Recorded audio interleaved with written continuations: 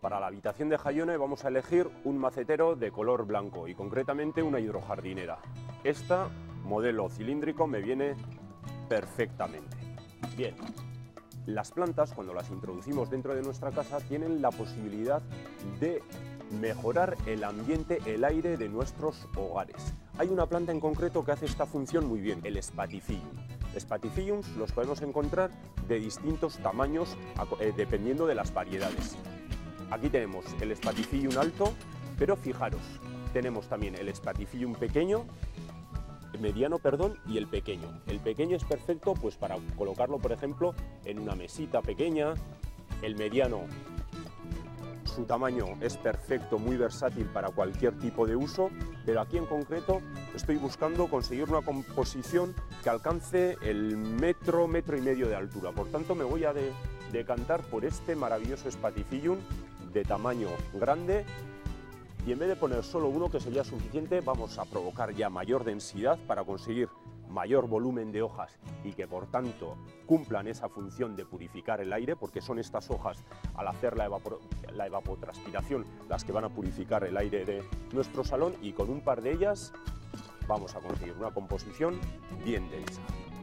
A trasplantarlas ya veréis qué elegante queda esta composición que si os habéis fijado tenemos la flor en blanco y también el contenedor en blanco y entre medio toda esta mata de hojas verdes. Las flores del Spatifillium siguen un proceso que consiste, primero, la flor aparece y está completamente cerrada, la espada cierra completamente el interior de la flor, luego esta flor se empieza a abrir y pone de manifiesto la elegancia de la espada y vemos el interior blanquito y todavía fresco fresco, cuando la flor empieza a adquirir la madurez de ese interior empiezan a salir unas unos puntitos blancos que son el polen, que a veces este polen cae sobre la superficie de la hoja y crea como unas eh, manchas como de polvo que hay que eliminarlas simplemente y luego cuando la flor termina su ciclo y llega completamente a la madurez, el interior se empieza a marchitar como vemos aquí y el color de la espada empieza a cambiar.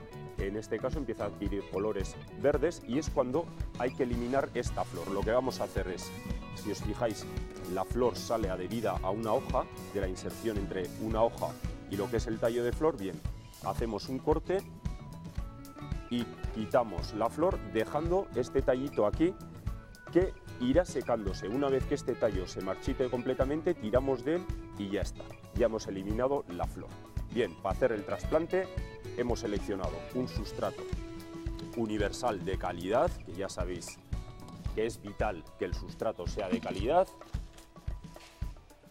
Sobre la hidrojardinera directamente añadimos el sustrato.